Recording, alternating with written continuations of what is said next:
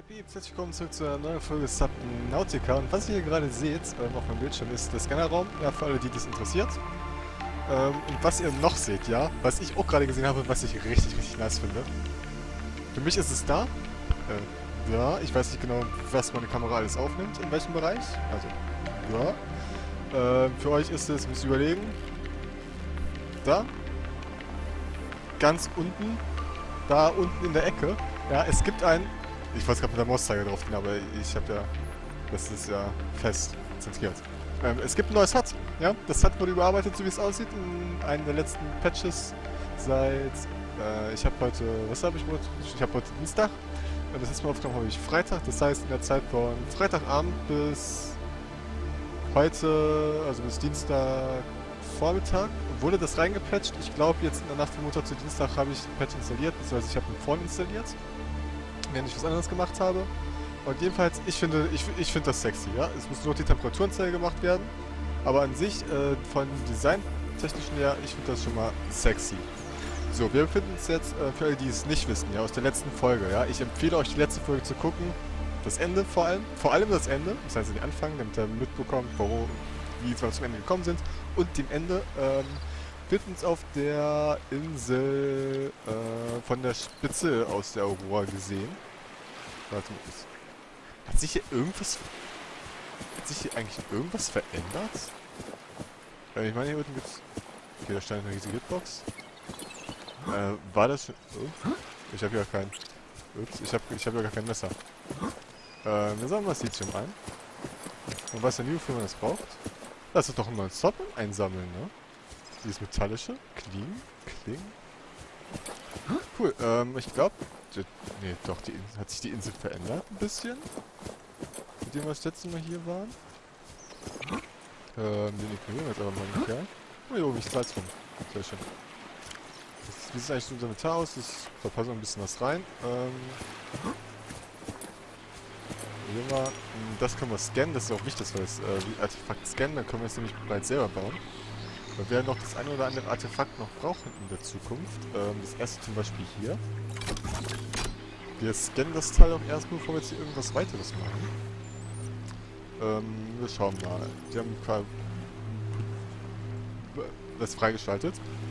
Ähm, Algenwuchs auf der Aussetzung ist das Vermuten, dass der 200 Jahren verlassen ist. Trotz seines Alters Energieversorgung funktioniert. Motive mit außerirdischen Technologien. So, wir haben selber ein Artefakt. Das legen wir jetzt mal ein. Ähm, wir haben? Haben wir das Artefakt dabei? Wir hatten doch mal ein Artefakt. Oder täusche ich mich da gerade? Oder haben wir das Artefakt gar nicht mitgenommen?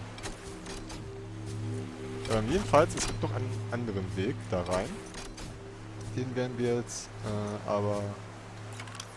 Basaltbrocken, was ist denn da drin? Den werden wir jetzt allerdings äh, noch nicht verwenden. Ich glaube, ich will nämlich erstmal... Erstmal das... Ich will aber nicht ran, ne? An den Basaltbrocken. Aber was ist denn, was ist denn so ein Basaltbrocken überhaupt drin? Gold, Diamant und Uran. Hm. Nicht schlecht, was ist denn das?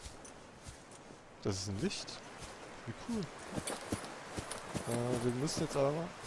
Das ist ja echt spezifisch. Das ist ja cool. Guck mal, hier oben ist ein Artefakt. Aber von oben kommt man da, glaube ich... Gibt's hier oben gab es noch nicht keine... Ach, guck. Hä?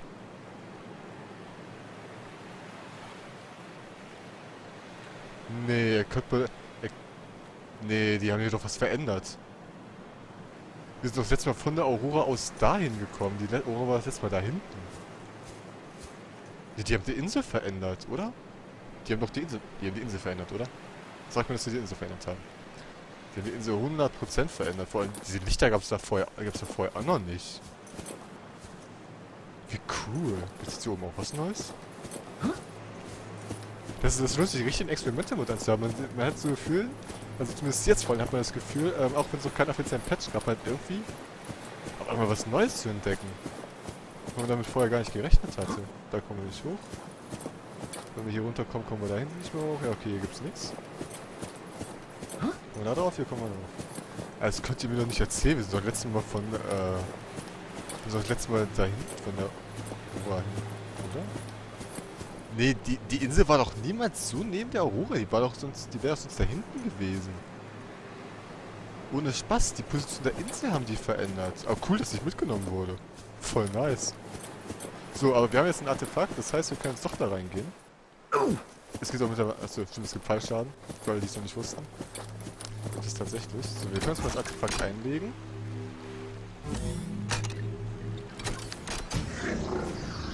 Und in die Alien-Basis eindringen. Wenn sich zumindest hier drin nichts verändert hat, ja... Das ganz was dass die Struktur aus einer uns unbekannten Metalllegierung besteht, deren Härte alles Bekannte weit übertrifft. Keine Treffer in der Datenbank gefunden. Beginne mit Strukturanalyse. So, so. Ich glaube, der Text war ist auf dem Live-Patch noch auf Englisch oder auf dem Patch davor. Eine Hintergrundnachricht wurde entdeckt, als sie durch die Einrichtung geschickt wurde. Übersetzung teilweise verfügbar. Nachricht lautet... Unbekannte Flugobjekte in der Umlaufbahn dieses Planeten werden zerstört. Verhindern einer Okay. Bei der Analyse der an den Wänden befindlichen Muster konnte nicht festgestellt werden, ob ihr Zweck ästhetisch oder funktionell ist. Weitere Daten erforderlich. Und weitere Daten gibt es zum Beispiel hier am Datenterminal. Aber ich glaube deswegen, ich glaube, wir wollen, äh, ich glaube, jetzt ist die Frage, wo hat das Teil, also wir haben ja gesehen, das Teil hat die Sunbeam ja komplett zerstört. Von der ist ja gar nichts mehr übrig geblieben von der Sunbeam, nachdem das Ding drauf geschossen hat hat diese Waffe, weil äh, es wurde auch gesagt, dass äh, dieses Teil jetzt hier, haben wir gerade gelernt, äh, automatisch auf alles schießt, was fremd ist.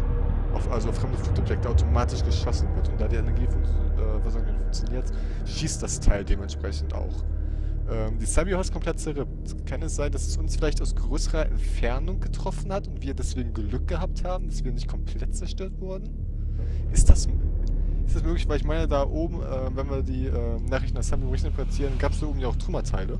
Oder ein riesiges Trümmerfels. Ähm, das könnte sein, dass das Teil uns deutlich früher gesehen hat als die Sunbeam und wir deswegen Glück gehabt haben, sage ich jetzt mal, dass wir weniger Schaden bekommen haben. Ich weiß es nicht. Vielleicht ist es so. Ja, das, vielleicht ist es extra so geschrieben, damit das, dieser Raum für Interpretationsmöglichkeiten da ist unbekannte Sprache. Versuche zu übersetzen. Dieses Terminal wurde in der außerirdischen Anlage auf der Oberfläche des Planeten 4546b entdeckt. Banjo kann das Terminal niederfrequente Funkwelt zu erzeugen, die komplexe, aber erkennbare Datenmuster enthält. Entspricht keiner von uns bekannten Technologie. Wurde aus dem gleichen Material wie die Anlage, scheint ein Festkörperrechner irgendeiner Art zu sein, keine erkennbare Benutzeroberfläche.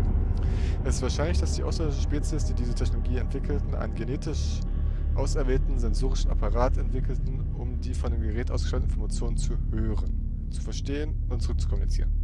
Die mentale Verarbeitungsleistung, die erforderlich ist, um diese Art von Telepathie durchzuführen, würde bedeuten, dass die Erbauer geistig wesentlich weiterentwickelt sind als der gewöhnliche Mensch.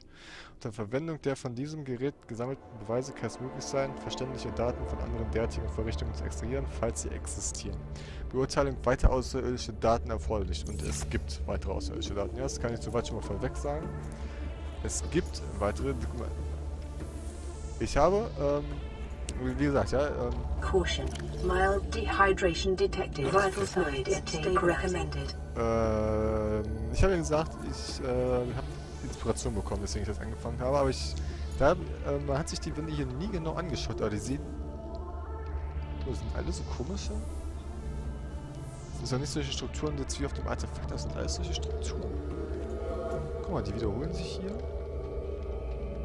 Ah, ihr seht schon, das sieht schon cool aus, ne? Wenn man sich das mal so genau betrachtet. Auch vor allem äh, nicht nur die Strukturen, nicht nur diese ganzen Zeichen, sondern auch diese, diese grünen äh, Punkte, auch wenn die vielleicht einfach nur random hier draufgesetzt wurden von den ähm, die höchste Wahrscheinlichkeit, um diese Einrichtung verbunden zu treten, erzielt sich Zugriff auf den Kontrollraum im unteren Bereich. Ja, ja, da kommen wir ja noch hin. Ähm, dass diese grünen, Punk grünen Punkte Lichter, auch wenn die vielleicht zuerst äh, random gesetzt wurden als äh, gewählt, das sieht schon, das sieht schon geil aus. Da kann man ja sagen, was man will, aber das sieht schon das ist schon hart sexy. Ja, was gibst du ran? Oder ein Ionenkristall ist das. Ich glaube, den Ionenkristall brauchen für, für ähm, selber Artefakte zu bauen zum Beispiel. Planetare Geologie, Ionenkristalle.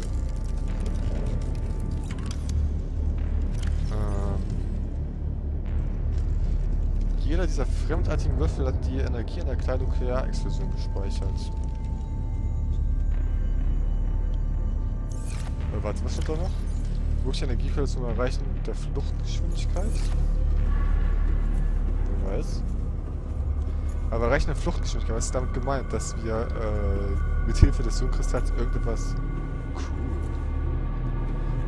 Dass wir mit Hilfe des Jungkristalls irgendwelche äh, Energiequellen bauen können, damit... Äh, vor allem, die gehen ja auch nach der Zeit erst an. Wenn wir hier lang gehen, und der geht uns auch an. Dass wir damit ähm, irgendeine Energiequelle bauen können, womit wir irgendwas, irgendein Flugobjekt bauen können, mit dem wir wieder rauskommen. Nehmen noch einen mit. Hier ist ja einer. Einen werden wir brauchen für einen Teleporter. Ja, wir haben ja auf der anderen Insel einen Teleporter entdeckt. Ähm, wir gehen erstmal zum Datenterminal und schauen wir mal, was wir jetzt, auf uns wartet. Unknown language. Attempting translation. Außer Datensatz scheint ein mehrdimensionales Schema zu bilden. Durch die Abbildung des Musters im dreidimensionalen Raum ist es möglich, für die interne Funktionsweise dieser Einrichtung an grundlegendes Verständnis zu bekommen, mit deren Hilfe wir einen Weg finden, sie zu aktivieren. Baumaterial. Das unbekannte Baumaterial der Anlage wird als ultraharte, nicht reaktive Metallmischung identifiziert, aus Materialien synthetisiert wird, die nicht von diesem Planeten stammen. Die waren also tatsächlich ziemlich, ziemlich weit fortgeschritten, was Technologie angeht, wenn die äh, die Materialien nicht von diesem Planeten haben. Es gibt keine Anzeichen dafür, dass es für uns bekannterweise beschützt werden kann. Und wir können dagegen nichts tun. Okay. Energie. Das Schema zeigt, dass die Anlage von einem separaten, selbsttragenden Kraftwerk angetrieben wird, das sich anderorts befindet. Schon ist nicht gelistet, aber es gibt Hinweise darauf, dass die Erbauer die natürliche Wärme gegen das Planeten nutzen. Das habe ich auch schon gesehen. Dieses äh, Kraftwerk, ich weiß auch, wo sich das befindet, das ist ein Wärmekraftwerk, tatsächlich, wie es hier auch beschrieben ist. Ähm, da kommen wir aber irgendwann in einer der zukünftigen Folgen hin, aber definitiv nicht heute und auch nicht in der näheren Zukunft, sage ich mal. Wir haben hier noch schließlich einiges zu tun, zum Beispiel unsere eigene Basis zu bauen. Und vielleicht gibt es ja noch wieder ein bisschen Story für uns. Müssen wir mal gucken. Grundriss. Die Anlage besteht aus dem oberen Kontrollbereich, wo dieses Schema gefunden wurde, und dem Kontrollraum, der über einen sicher verschlossenen Aufzugsschacht oder einen separaten, unter der Wasseroberfläche befindlichen Moonpool zugänglich ist. Funktionsweise. Der Kontrollraum im unteren Bereich ist die einzige bekannte Möglichkeit, mit der Anlage in Verbindung zu treten. Das Schema zeigt jedoch die nicht vorgehensweise oder installierte Sicherheitsmaßnahmen an.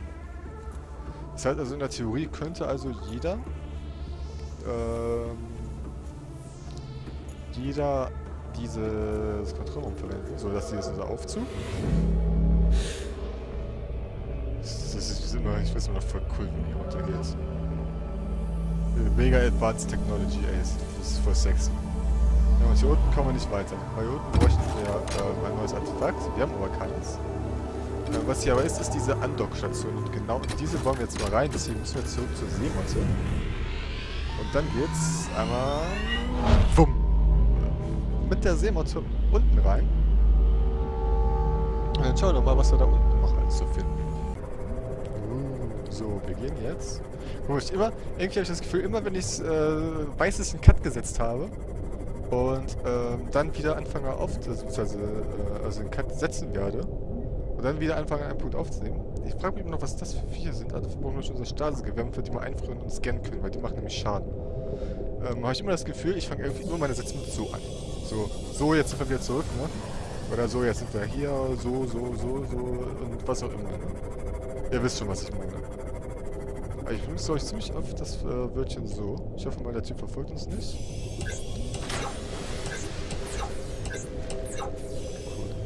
Ist übrigens auch wieder Tag draußen, wer es gerade nicht gesehen hat. So, wir steigen aus. Und einmal lang, weil jetzt haben wir uns nämlich äh, den Eingang da vorne gespart. Das ist nämlich ziemlich praktisch, da müsst ihr nämlich dafür kein Artefakt anlegen. Es war in dem Sinne zwar ein Umweg, aber sparen Artefakt, vor allem wir sparen Artefakt, was wir im Moment noch gar nicht haben. Und das ist immer gut, wenn wir weniger verwenden, als wir verwenden müssen. Wir können nämlich mal unser Köpfchen verwenden manchmal. So, jetzt ist aber hier unten soweit erstmal überall hingucken, damit man auch ja nichts mehr sieht. Oh ja, das ist doch ein Kristall. Schon der dritte, den wir haben. Die sehen auch nur wenig Platz weg, das ist sehr, sehr schön. So, wir können hier unten rein, wir können da oben hin. Ich würde erstmal sagen, wir gehen hoch. Und dann äh, schauen wir mal, was, wo uns der Weg hier unten noch hinführt. Da hinten sehe ich schon aufleuchten. Hier ist noch ein Artefakt. Was wichtig sein könnte. Ansonsten ist hier auf der Stufe nichts weiter. Haben wir hier irgendwo was? Hier ist nichts. Da oben braucht man ein Artefakt, um da reinzukommen. Äh, ich hoffe jetzt allerdings nur, dass wir da unten nicht noch ein Artefakt brauchen. Was haben wir denn? Was ist denn hier oben? Der Kontrollraum. Der Kontrollraum, da sollten wir auf jeden Fall ein Artefakt einlegen.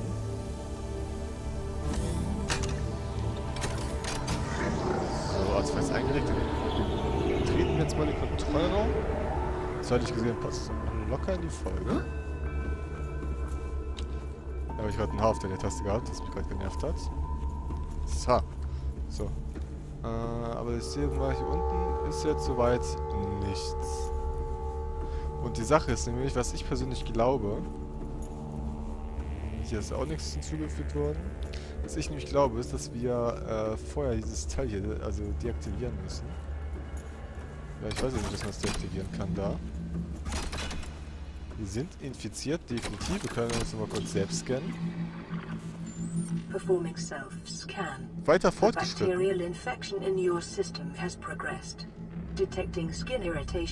Weitere response. Further Okay. data required to identify bacterial strain. Es hat sich gelohnt, uns da wieder selbst zu scannen. Das ist sehr, sehr interessant. So, wir werden jetzt hier nämlich die Anlage abschalten. Dann piekst du es jetzt nämlich. Ja. Au.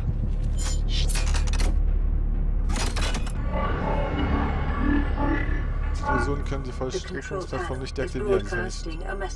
Translation reads, Warning, infected individuals may not disable the weapon.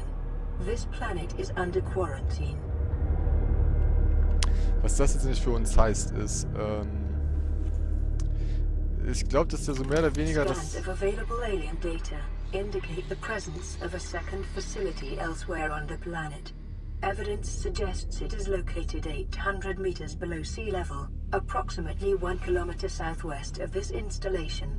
Information recorded to data bank. Dürfen wir solchen so ein Signal bekommen haben? Kräfte 7? Nee. Ähm, aber Energiekern.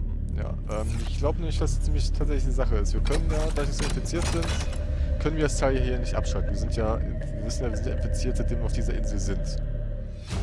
Ähm, Integrating new PDA data. Dieses Gerät zeigen sich über die sekundäre Anlage aus auf diesem Planeten. Solchen Forschungsanlagen. Studien am lebenden Exemplar. Synthese eines Heilsmittels für das Bakterium. Infizierung lebender Exemplare mit Bakterien, Beobachtung der Immunreaktion. Überlebende Exemplare werden zur weiteren Analyse an primäre Sicherungsanlage übergeben. Abgelegene Sicherungs- und Forschungsanlage, um das Risiko einer Ansteckung zu reduzieren. Wärmekraftwerk, das außerhalb der Anlage platziert ist. Boden, Luftquarantäne, Verstärkungsplattform, Fall einer Sicherheitsverletzung. Fall eines Ausbruchs werden Quarantäneverfahren mit sofortiger Wirkung automatisch eingeleitet. Die Quarantäne-Vollstreckungsplattform wird ausnahmslos alle eingehenden und ausgehenden Raumschiffe anvisieren, um die Ausbreitung der Infektion außerhalb dieser Welt zu verhindern. Die Anlage wurde in einer Tiefe von 700 Metern, ca. 1 Kilometer südwestlich von einer Verstärkungsabfall. Ja, so, was wir hier jetzt gelernt haben, das ist nämlich ganz wichtig, äh, glaube ich, zu verstehen. Ähm, zum einen, wir müssen, äh, sie haben, sie wussten über dieses Bakterium, was wahrscheinlich auch uns direkt infiziert hat hier. Ähm, und haben versucht dagegen zu heilen, aber was wichtig ist, ähm, dieses Ding ist nicht da, um irgendwie alles zu zerstören, was hierher kommt, sondern es ist ähm, dafür da, damit hier nichts wegkommt. Das ist, glaube ich, hier, was diese Anlage angeht, glaube ich, das ist, Ähm, ich glaube, das ist sehr, sehr, äh, ich. Stabilizing. Ich glaube, das ist sehr, sehr wichtig zu verstehen, dass ähm, die das nicht machen, weil die böse sind, die, äh, also die, äh, die Aliens, die hier waren. Sondern ähm, weil die halt nicht wollen, dass auch andere Lebensformen, also wahrscheinlich, weil die davon ausgegangen sind, also weil die selber Luftschiffe hatten, haben sie sind wahrscheinlich davon ausgegangen, ähm, wenn es noch andere, dass es vermutlich noch irgendwo anders welche gibt, die auch mit Luftschiffen kommen könnten. Und dass sie halt nicht wollten, dass die auch infiziert werden. Die haben hier, glaube ich, ihr Bestes versucht. Ähm, das Ganze, also wir müssen noch irgendwo hier unten rein. Ähm, die haben versucht, die ganze, äh, das zu erforschen, äh, da ein Heilmittel gegen zu machen. und äh, vielleicht selber auszurotten, ähm, haben aber, falls das schief gehen sollte, wie es ja bekanntlich ist, ähm, dafür gesorgt, dass das Teil hier zumindest auf diesem Planeten bleibt und nicht mehr weg kann. Was jetzt leider auch das Sunbeam ähm, zur Opfer also ähm, äh, leider die Sunbeam erwischt hat. Weil ähm, ansonsten hätten wir nämlich das, ähm, das Bakterium und somit diese Krankheit auf einen anderen Planeten übertragen, also auf unseren Heimatplaneten übertragen, dann wären möglicherweise hätten wir möglicherweise die Menschheit ausgerottet. Was ich jetzt aber frage ist, hier gab es, äh, ich glaube, dieses Portal hier können wir aktivieren. Sonne geht unter. Allerdings weiß ich nicht wo. Ich meine, das ging. Ich meine, es war dieses Portal, was man aktivieren konnte.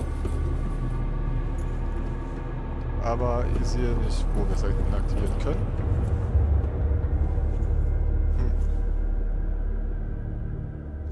Ist da das Sonnenlicht, was da irgendwie durchbackt? Komisch, eigentlich hätten wir doch das Teil hier aktivieren können, meine ich. Ne? Aber egal, bei mir ist es sowieso irgendwie alles verbackt gefühlt, also... Wir wissen zumindest, hier unten wäre der Teleporter. Und ich meine zumindest, dass es auch der war, den wir äh, hätten aktivieren können. Äh, ich würde jetzt aber mal sagen, wir gehen jetzt hier zurück in unsere Seemotte. Hier ist ja nichts weiter drin. Sonne geht runter. Wir beenden an dieser Stelle diese Folge. Ich bedanke mich recht herzlich fürs Zuschauen. Ich mich davon, wenn ihr immer mit dabei seid. Und äh, bis dahin, Entdeckersfan ist raus, rein und wir sehen uns. Beim.